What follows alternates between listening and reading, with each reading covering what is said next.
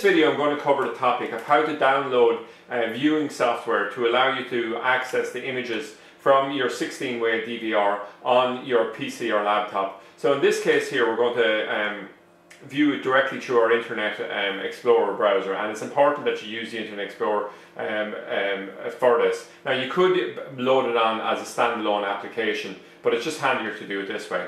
So to access the, the actual uh, software what we're going to do is just type in the IP address of the DVR itself. So it's HTTP colon uh, forward slash forward slash and then 192 and you can see we've entered here already.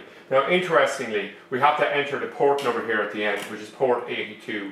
If we went with the default port which would be 80 and in our case it wasn't available we'll say uh, because it was already being used on the router um, we, we would just enter the straightforward IP address but because of this we need to enter um, colon um, uh, 82 in this case. So what we're going to do here is just click on this and we're going to be prompted here and we can see it's saying DVR client and the website wants to install um, uh, if you trust it uh, the website and things uh, click here so we do and we're saying install uh, for all users on this PC and now we just continue on and it's just completely menu driven at this point. Click install uh, next uh, install finish.